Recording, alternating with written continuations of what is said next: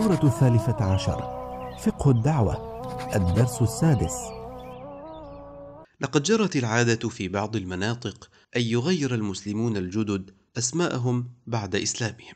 ويحدث هذا أحيانا ليشعر الداخل في الإسلام بمزيد من الارتباط والانتماء إلى المجتمع المسلم. والسؤال الواضح الذي يطرح نفسه هو هل تغيير الاسم هذا أمر واجب أم مستحب أم مباح فحسب؟ لا يوجد في الشريعة الإسلامية ما يلزم من هداه الله إلى الإسلام بتغيير اسمه إلى اسم آخر إسلامي، والاستثناء في ذلك هو وجود سبب إسلامي يقتضي ذلك.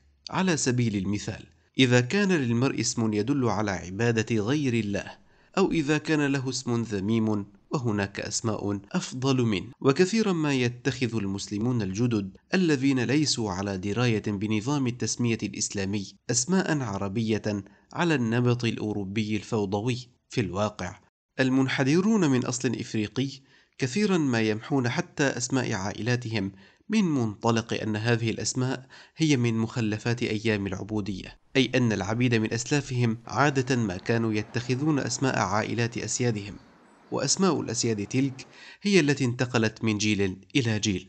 وعليه فإن الشخص الذي ربما كان يدعى كلايف بارون ويليامز بينما كان اسم والده جورج هيربرت ويليامز قد يعيد تسمية نفسه عند اعتناقه الإسلام باسم فيصل عمر مهدي. ولكن وفقا لنظام التسمية الإسلامي فإن اسمه كان ينبغي أن يكون فيصل جورج ويليامز أي فيصل ابن جورج ويليامز. وسواء كان ويليامز هو اسم مالك المزرعة التي عمل فيها أسلافه أو لا فلن يغير ذلك من الأمر شيئا بما أن اسم والده هو جورج ويليامز فهو ابن جورج ويليامز. وفقا لنظام التسمية الإسلامي تلك الممارسة الشائعة بين المسلمين الجدد المتمثلة في محو أسماء عائلاتهم. كثيرا ما سببت استياء عميقا لدى عائلاتهم غير المسلمة. الأمر الذي يمكن تجنبه بسهولة إذا تم اتباع نظام التسمية الإسلامي. وفي الحقيقة المسلم الجديد ليس ملزما حتى بتغيير اسمه المسيحي إلا إذا احتوى على معنى غير إسلامي. وعليه فإن الاسم كلايف والذي يعني ساكن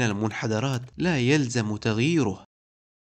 بينما الاسم دينيس وهو شكل آخر من الاسم ديونيسوس والذي يعني الإله ديونيسوس إله النبيذ والخصوبة اليوناني والذي كان يعبد بطقوس العربدة يلزم تغييره. ومع ذلك فمن المقبول تماما بالنسبة للمسلم الجديد سواء كان حديث الإسلام أم لا أن يغير اسمه الأول. فكان من عادة النبي صلى الله عليه وسلم تغيير الأسماء الأولى للناس إن كانت الأسماء فيها تزكية أو كانت قبيحة مستكرهة أو كانت غير إسلامية. وقد كانت إحدى زوجات النبي صلى الله عليه وسلم تسمى في الأصل برة أي تقية وقد غير النبي اسمها إلى زينب عملا بقوله تعالى في القرآن فلا تزكوا أنفسكم هو أعلم بمن اتقى ولكن لم يغير رسول الله صلى الله عليه وسلم قط أسماء الآباء مهما كانت غير إسلامية وعليه نستنتج أن محو المرء لاسم عائلته يتعارض مع نص وروح الشريعة الإسلامية فيجب الإبقاء على الاسمين الأول والأخير للأب وإن لم يكن اسم الأب معروفا فيتبع الاسمان الأول والأخير للأم.